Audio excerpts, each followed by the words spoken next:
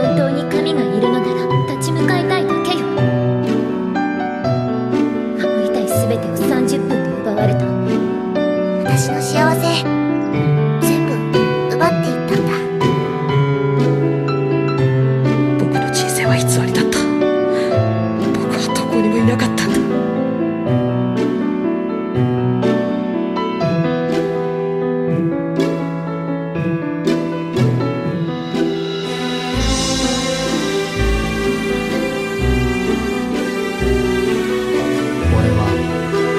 ちゃんと生きがいを持って生きていたんだ。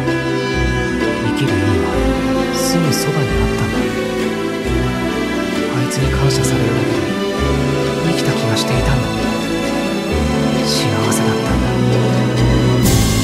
人間というものたったの10分だって。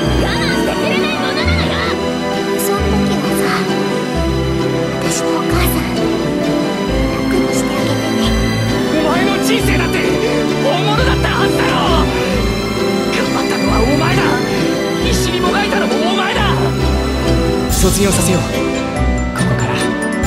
みんなを。